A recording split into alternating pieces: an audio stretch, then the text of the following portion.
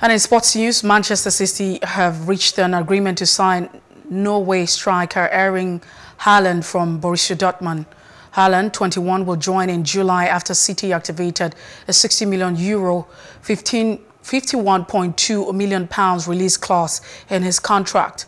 The deal ends the club's hunt for a successor to their all-time top scorer, Sergio Aguero, who joined the Barcelona on a free transfer last summer. Haaland, who passed his CT medical in Belgium on Monday, had scored 85 goals in 88 appearances for Borussia Dortmund since joining from the Red Bull in January 2022. La Liga giant Real Madrid and Barcelona also spoke to Haaland about the potential deal, but opted for a move through Etihad Stadium.